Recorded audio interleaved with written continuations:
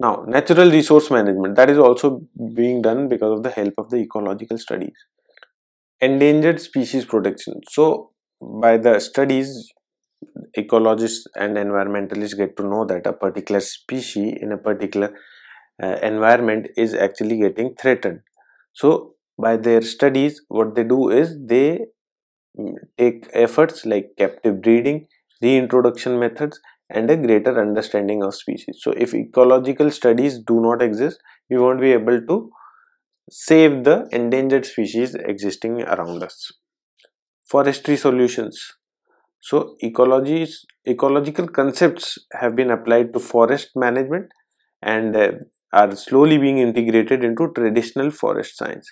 So forestry uh, solutions are also being actually helped by ecological studies agricultural solution. This is very important for us. So biological control is a technique that uses the natural enemies and predators of pests to control damage to the crops. It is based in part on knowing the ecology of the pest so once you get to know the ecology of pests as well as ecology of the crops you get to know that how can the plants be saved or the crop can be saved from the pests impact Fishing solution. So ecological research has also identified obstacles such as dams uh, that fish encounter when returning to their breeding areas.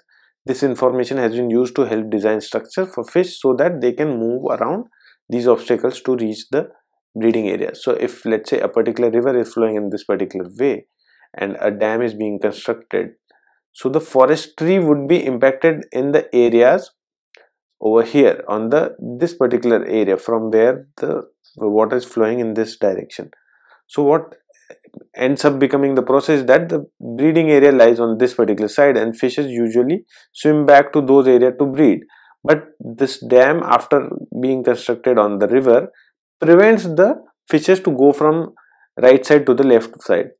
So once you identify that this phenomena is taking place which is being done by the ecological research you make dams which have uh, structures like that so that fishes move from those particular uh, cavities into the breeding ground. So the dam is also being utilized at the same time fishes are also not being harmed. Now let's have a look at natural resources conservation and management. So natural resources especially water and soil are essential for the function and structure of agricultural production system and for the overall social and environmental sustainability. So natural resources, you know how important they are for us, especially water and soil. Agriculture accounts for roughly 70% of the total freshwater withdrawal globally. So you can see that agriculture is the major consumer of the freshwater withdrawal all over the world. Globally we are talking about that. Farming also contributes to water pollution from nutrient and pesticides runoff and soil erosion.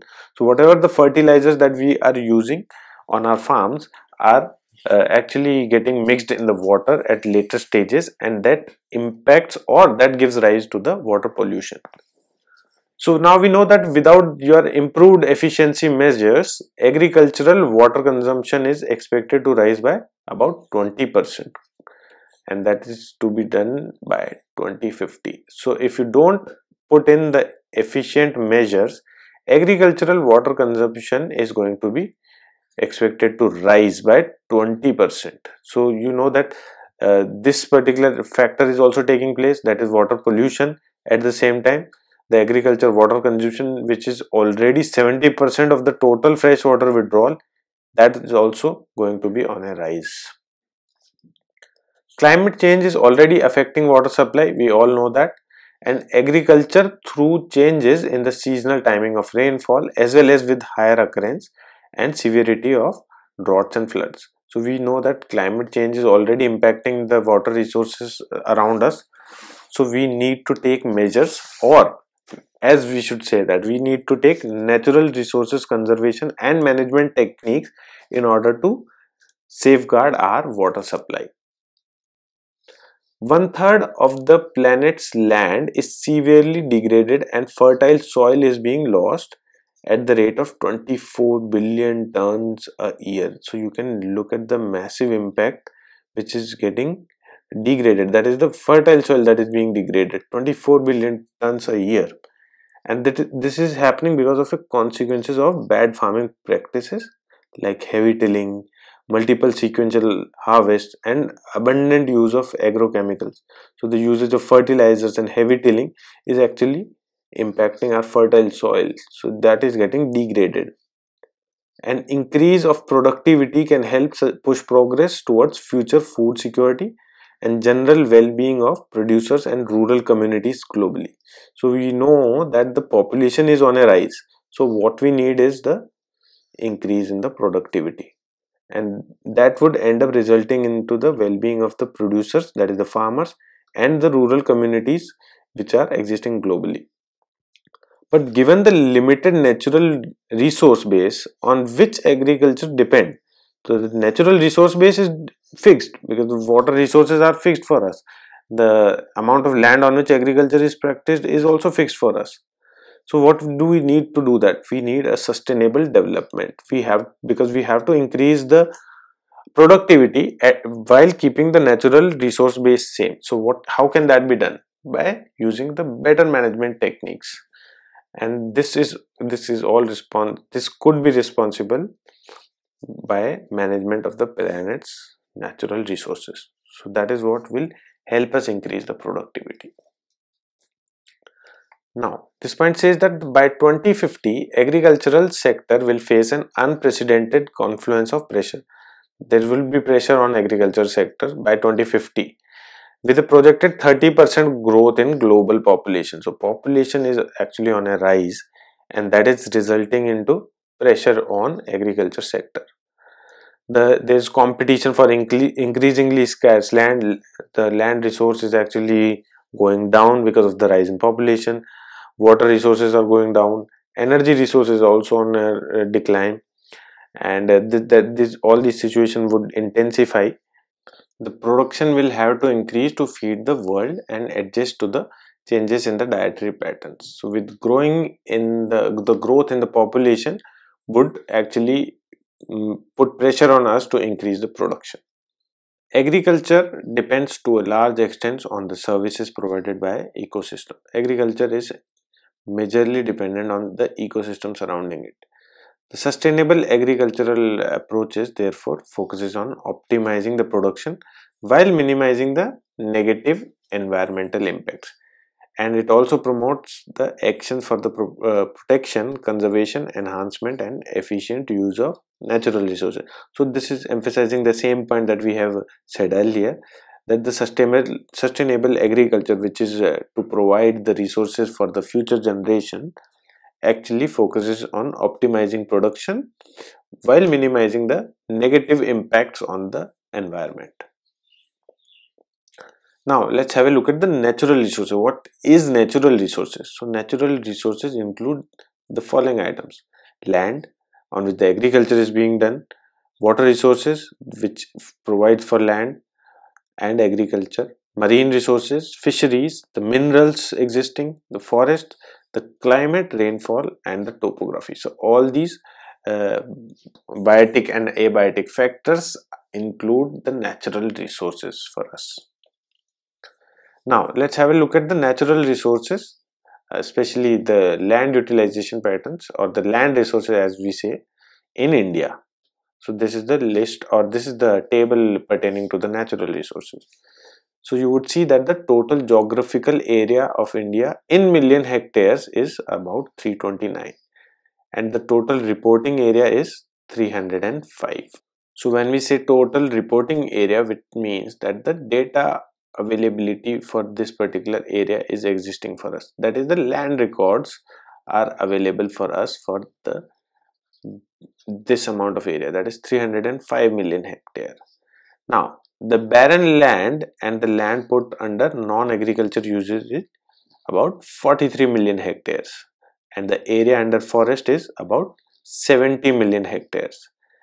The permanent pastures and grazing land includes 12 million hectares. Cultivable wasteland is 12 million hectares again.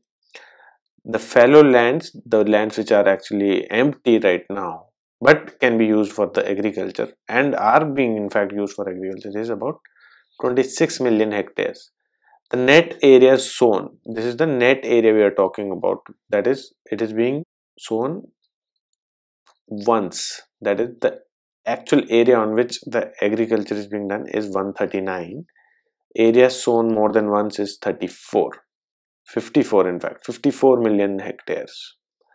Then the total cropped area that we have is about 194 million hectares. So this is the natural resource list of uh, india. So uh, you should also remember it because these are the facts which can be utilized for while uh, taking an exam. Now there's nine-fold classification of land use. So how exactly is the land land resource that we discussed in the previous slide is actually being classified so the statistics on land use are collected at present in the form of a nine-fold classification on a yearly basis. So out of the geographical area of 329 million hectares, the reporting statistics are available only for 305 million hectares, right? Uh, now this makes up areas to the extent of 7% is still not covered or classifiable under nine-fold cultivation. So you can see that there is a difference of total geographical area from that of the reported area so there's a lag of 7% of the area on which we cannot have any data or and it cannot be classified under this ninefold classification so this classification consists of forests then area under non-agricultural usage then you have barren or unculturable land on which nothing can be grown uh, permanent pastures and other grazing lands. These are the grazing land. Uh, land under miscellaneous tree crops. So the miscellaneous trees are actually being grown in a particular classification of the land. Then you have culturable waste wasteland so the land which is uh, uh, lying idle waste but is culturable. Then another uh, classification is that of fallow land. Other than the current fallow that is the land which is empty right now current fallows so out of the total fallow land the current fallow is, exists right now. And the uh, fallow land which is uh, actually being sown right now would come under fallow land. So both of the categories fall under this uh, net area sown. So this is going to be the entire area on which the particular uh, crops are being sown so the first one was that of forests so forests include all the lands classed as forest under any legal enactment dealing with forests or administered as forests, whether state owned or private and whether wooded or maintained as potential forest land. The area of crops raised in the forest and grazing lands or area open for grazing within the forest should remain included under the forest area. So this is the definition given by the government. So this is how government classifies forest so they are including all the uh, legal enactment while administering forests and the private as well as state owned area can come under forest parts now area under non agricultural usage so what is the usage of this so this includes all the lands occupied by buildings roads railways or underwater. So this is this cannot be the area existing in these part cannot be used for agricultural purposes. It can also include rivers and canals and other lands which put uses other than agriculture. Now the next classification was that of barren or unculturable land. So what does that mean so it includes all the barren and unculturable land like mountain deserts etc on which you cannot grow crops so lands which cannot be brought under cultivation except at an exorbitant cost. So if you spend more money, you can actually make a surface in these particular areas on which agriculture can be done. But this is classed as unculturable whether such land is in isolated blocks or within the cultivated holding. This is the definition of barren land. Now permanent pastures and other grazing lands include all the grazing land whether they are permanent pastures and meadows or not. Village common grazing land is included under this head. So this is the area on which the uh, pastures actually uh, thrive on. Now land under miscellaneous tree crops. So this includes all the cultivable land which is not included in the net area sown but is put to some agriculture use. Some agriculture use is also being done under the miscellaneous tree crops. So lands under casuarina trees thatching grasses bamboo bushes and other groves for fuel etc which are not included under orchards should be classed under this category. So these are the commercial plants basically commercial trees which can which are grown specifically on a particular land but since these are not crops they come under miscellaneous part of classification. Now what is cultivable wasteland? So this includes lands available for cultivation whether not taken up for cultivation or taken up for cultivation once but not cultivated during the current year and the last five year or more in succession for one reason or the another so this includes basically the cultivable wasteland basically includes the lands which is available for cultivation but is not taken up for cultivation especially when you consider the current year as well as the last five years. So such lands may be either fallow, they are actually left uh, empty or they are also covered with shrubs and jungles but are not put to any use. So this is the cultivable wasteland on which you can actually do agriculture but is not being practiced right now. They may be assessed or unassessed and may lie in isolated blocks or within the cultivated holdings. And land once cultivated but not cultivated for 5 years in succession should also be included in this category at the end of 5 years. So after 5 years if nothing is being done on a particular land so you would know that this land is of no use right now so it is known as your cultivable wasteland. Because earlier there used to be agriculture being done on this. Now fallow lands other than current fallow so this was actually a little confusing earlier as well for some students. So let's try to understand. So this includes all lands which were taken up for cultivation but are temporarily out of cultivation for a period of not less than one year and not more than five year. So fallow lands are actually the land which is uh, actually left empty for a reason for a particular specific reason so that uh, maybe the soil fertility grows back on that land. The area is actually being used for agriculture but is presently empty. But since we are using the term temporarily we mean that it can be used after some time and when you talk about current fallows, you are talking about the same area or in fact it could even be different area which is kept fallow but especially for this particular area. That is for a season specific. If it is being left fallow it is being uh, left open. And you know that uh, if I have to leave it empty for a particular specific year or season so that I can practice it later on it for example, example, if any seeding area is not cropped against the same year, it may be treated as current fallow. So current fallow and fallow land is quite close to each other. So you should uh, actually have a look at it in a closer way so you understand it better. Net area sown. So this represents the total area sown with crops and orchards. Area sown more than once in the same area is counted only once. So this is the major point when you talk about net area sown. So area which is sown more than once in the same year is counted only once. But if you consider the gross cropped area, that would be counted twice. Now, let's have a look at the water resources. These are these also come under the head of natural resources, but we are talking about the various water resources that we have. And the figure we have over here is in million hectare meters. So total precipitation that is the rainfall that we have had in 1974 the availability of water resources through the rainfall was about 400 million hectare meters. You can see that in the year 2015 that is in the recent times it is about the same.